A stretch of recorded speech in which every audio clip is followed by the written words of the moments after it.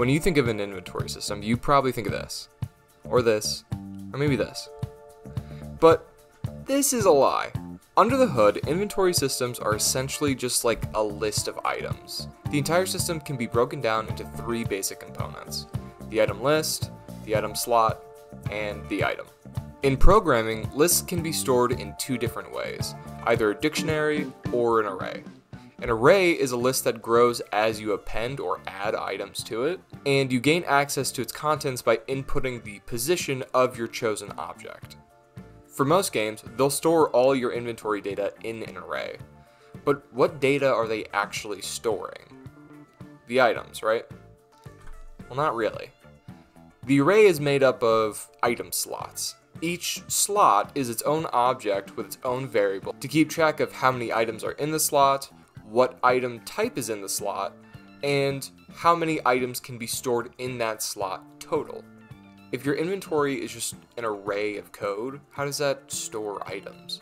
Well, that goes down to how items in games work. When you find an item in game, it's basically just a physical object in the game that represents a set of data like the item's name, its description, armor rating, weapon damage, or healing properties. Think of each physical item object as a blank template, only made to look like the item data it represents. When you press E on it or walk into it to pick it up, the computer gathers a copy of that item's data and runs a check with it. First, we look at every inventory slot in our array to see if any of them match the item data for the item we're trying to pick up. If we already have that item in our inventory and the slot it occupies is not at its limit, we'll just add one to that slot's item count. If that slot is full or we don't already have that item, we just add the item to the next empty slot and set its count to 1. Then we just delete the physical object from the game world. Now, if our inventory is completely full and we don't have any more space for the item, we just ignore the input to pick up the item.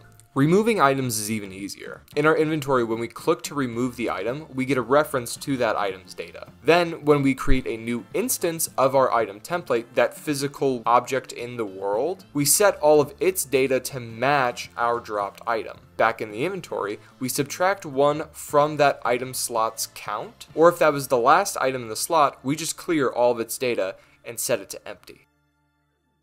In all, inventories might seem scary to new devs, I am by no means any exception to this. But when broken down into its core pieces, it's actually pretty simple. I hope this gave you a better understanding as to how inventories in games work, if you're a game dev or just a gamer who's interested. If you want to know more about how games work or how games are made, go ahead and check out the rest of my channel where I post tutorials for making games of your own. I also plan on posting devlogs soon for a source style FPS that I'm working on, and I can't wait for you all to see it. So don't forget to like, and subscribe, and I will see you all next time.